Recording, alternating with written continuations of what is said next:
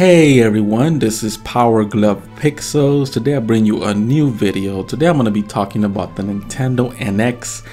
I know I'll be talking about the Nintendo NX a lot, but there's a lot of rumors going around and there's another rumor going around again that's popping up again where apparently it's going to use cartridges. Now, I'm starting to believe that this rumor is going to become true. I mean, it works for Nintendo.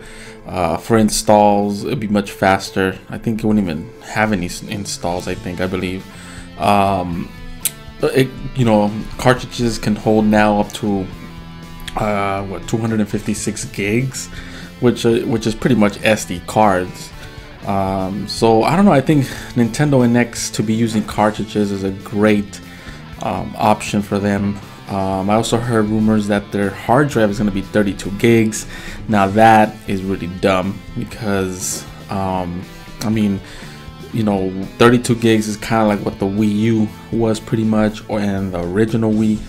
And you know, they gotta have more space. They they can't have just 32 gigs, especially if you decide to go um, all digital, for example.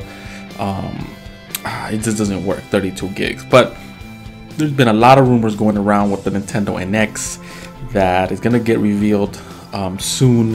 Uh, Nintendo might announce some sort of a Nintendo Direct um, in any day now, uh, sometime this month. Um, you know, I'm just dying to know what the Nintendo NX is. You know, it's just it's going way too damn long without knowing what the Nintendo NX. You know, and um, I don't know.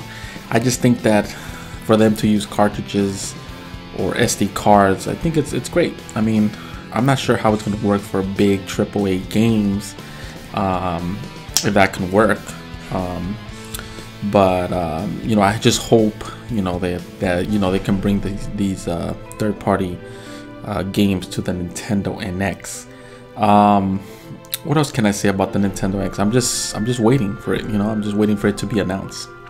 I will definitely be picking one up uh, next year. I guess it comes out in March, I believe, um, unless they announce it gets pushed back.